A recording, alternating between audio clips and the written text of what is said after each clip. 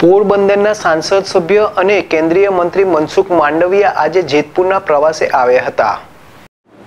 પોરબંદરના સંસદ સભ્ય અને કેન્દ્રીય મંત્રી મનસુખ માંડવિયા આજે જેતપુરના પ્રવાસે આવ્યા હતા અને ચેમ્બર ઓફ કોમર્સના વેપારીઓ અને જેતપુર ડ્રાઇંગ એસોસિએશન સાથે કેન્દ્રીય બજેટ અંગે પરિસંવાદ કાર્યક્રમ યોજાયો હતો. આ કાર્યક્રમમાં ધારાસભ્ય, જિલ્લા પ્રમુખ સહિત ભાજપના આગેવાનો, કાર્યકરો સહિતના મોટી સંખ્યામાં કારખાનેદારો અને વેપારીઓ ઉપસ્થિત રહ્યા હતા. સાથે જ મનસુખ માંડવિયાએ નિવેદન આપતા જણાવ્યું હતું કે, યુવા અને રોજગારલક્ષી બજેટ દ્વારા આગામી ચાર વર્ષમાં બે લાખ કરોડ રૂપિયાના ખર્ચે ચાર કરોડ રોજગાર નિર્માણ કરવાનું પ્લાનિંગ કરી રહ્યા છે.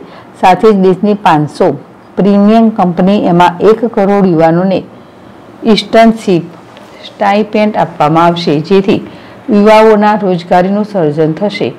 સાથે સાથે જ દેશમાં ગતિથી હાઈવેનું નિર્માણ થઈ રહ્યું છે અને રેલવેના ટ્રેકનું નામ કામ ચાલી રહ્યું છે.